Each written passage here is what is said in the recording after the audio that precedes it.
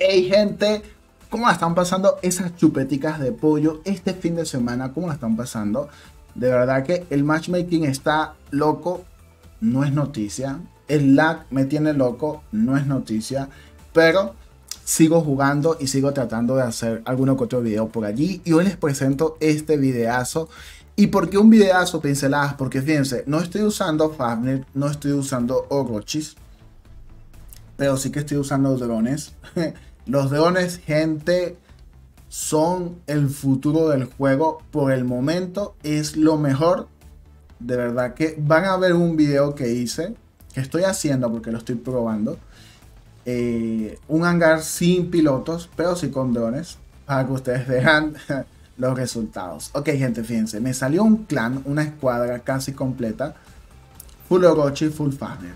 Yo dije, ah, otra vez Pixonic me colocas con gente.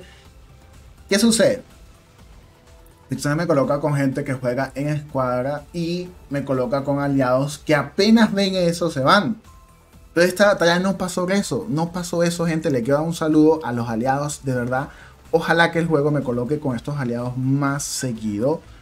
Porque se quedaron hasta el final, lucharon y dieron el todo por el todo. Había uno que otro en mi equipo que tenía Fafnir por allí, tenía Orochi y habían otros en el equipo enemigo que no tenían Orochi, pues como todo.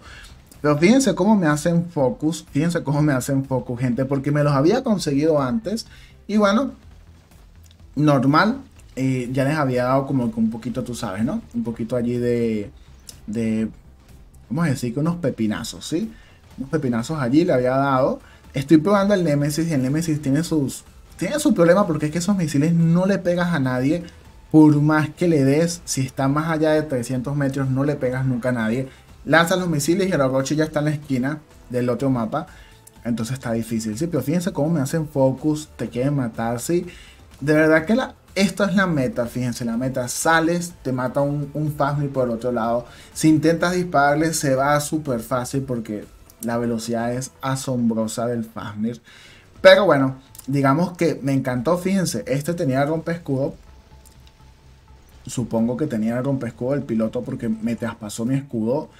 O alguno otro de los que me están disparando múltiples enemigos allí. Pero fíjense, lo pudimos matar. En equipo pudimos hacer un buen desempeño. De verdad que me encantó esta batalla. Me vengué de los Fafnir. Habían demasiado Fafnir. Tú volteas para acá, Fafnir. Volteas para allá, Fafnir. Allá, Fafnir, Fafnir, Fafnir.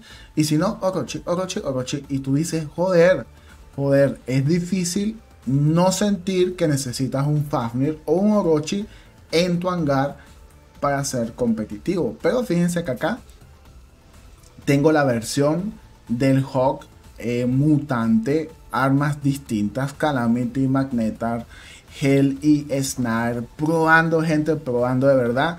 ¿Qué conviene hoy en día? Eh, combinar, combinar combinaciones locas que tú puedas hacer y que tengan buen resultado. Creo que es lo más importante. Eh, estoy probando también el Hawk con antisigilo, no tanto con rompescudo ya. Estoy dejando el rompescudo para otro robot porque hay un aumento del titán este que tiene sigilo, el Muromets, hay un aumento. Demasiados jugadores están usándolo. Y bueno, la cosa hay que adaptarse, ¿sí? Y el Hawk con antisigilo se lo, se lo destruye porque es una mantequillita. El titán Muromets contra el Hawk es una mantequillita. Fíjense gente, de verdad que me encantó esta batalla. Dale like si te gustó. Fíjate cómo pinceladas le está dando allí piso y caña a este clan que tenía Fafnir y Orochi. Y fíjense cómo el nivel de presión del clan va bajando poco a poco a medida de que van perdiendo los benditos Fafnir y Orochi. De verdad que cada vez me doy cuenta de eso.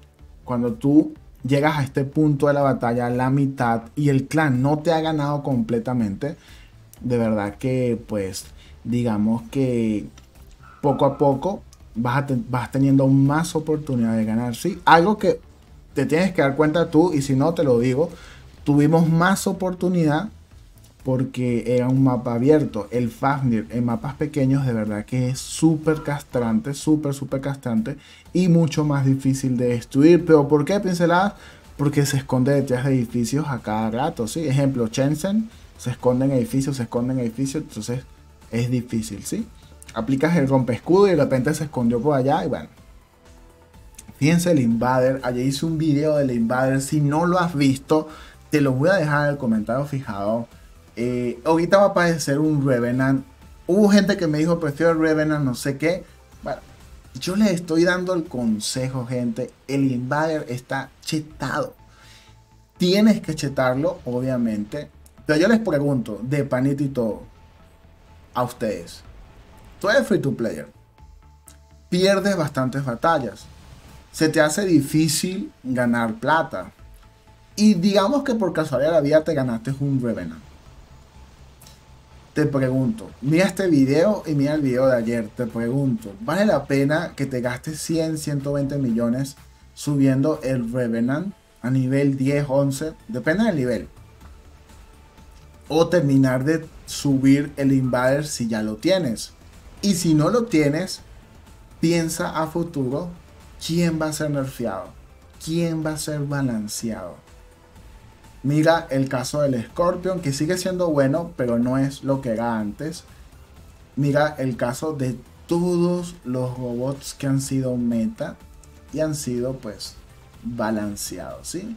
Ahí te dejo eso para que tú tomes tu decisión y me digas en los comentarios si vale. Obviamente, obviamente, si te ganas un Revenant, uno queda con... Lo voy a subir no voy a subir de nivel porque es el nuevo. Pero si tú supieses que tener el Invader chetado, también vas a tener buenos resultados. Y a futuro va a ser muy buena inversión de plata. Porque no va a ser balanceado. Fíjense, aquí llegó el Revenant hablando de todo, ¿sí? Retrocedan el video y vean todo el daño que aguantó el bendito Invader contra los titanes. ¿Qué sucede contra el Revenant? El Revenant no aguanta, no aguanta mucho contra los titanes. Una vez se queda sin habilidad, prácticamente es una bola gigante que lo puedes destruir muy pero muy fácil con titanes cuando se queda sin habilidad. Hay demasiados factores, yo sé, piloto, drones, pilas de energía, lo que sea, ¿sí? Pero miren aquí los videos y ustedes se dan cuenta de lo que sucede en, en el campo de batalla en Liga Alta, ¿sí? En Liga Alta, Liga Campeón, jugando yo solo con gente random contra casi una escuadra, creo que eran cuatro, cuatro, con armas nuevas y todo nuevo, ¿sí? Bueno, gente, déjame en los comentarios tu opinión, qué piensas. Me han preguntado si el Fastly necesita un balance. Obviamente que necesita un balance. Y cuando lo balanceen va a ser como un hover. un hover. No sé si ustedes han jugado con el hover o se lo han conseguido. El hover vuela, pero vuela muy alto. Y de repente va bajando y el vuelo es muy lento. Bueno, así va a quedar el bendito Fafnir. Va a ser como un hover. Muy fácil de darle, eh, atinarle con cualquier arma. Y nadie lo va a usar a pesar de que tenga el bendito rompe escudo, ¿sí? Hace tiempo yo hice un video de los titanes y les dije, el Nodens es mejor que el Arthur. Muchísima gente me decía que estaba loco. Y no es una crítica, pero yo no entiendo a la gente que hace videos. Tú puedes dar tu opinión, el Fafnir está chetado, etc. Pero si haces un video diciendo un video del mejor titán, pero tú no tienes ninguno de esos titanes para probarlos, es como que no sé, es como que yo hago un video de eh, del Bugatti, ¿sí? del auto Bugatti, cuál es el mejor, o el Bugatti, o el Ferrari, o X cosa, y yo no tengo ninguno, ¿sí? o tengo al menos uno, un chevetico. Entonces, bueno, fíjense, les estoy diciendo, ¿el Invader es mejor que el Revenant? Sí, es mejor que Revenant a futuro. ahorita no, no es mejor que Revenant. Si te consigues un Revenant chetado, te va a destruir. Pero dentro de unos 3, 4 o 5 meses, el Invader va a quedar súper, súper. Y Revenant, igual el Hawk. ¿Quién es mejor, el Hawk o el Fafnir? El Fafnir, sí, pero dentro de unos meses, el Hawk va a estar allí y el Fafnir va a quedar como un recuerdo, ¿sí? Recuerden eso.